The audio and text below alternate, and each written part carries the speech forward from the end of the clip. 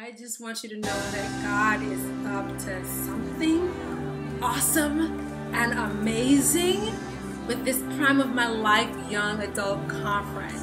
Because I just know, I just know that somebody's going to be blessed, somebody's going to be delivered, somebody is going to be set free, somebody's going to be renewed and transformed and just walk out like a boss.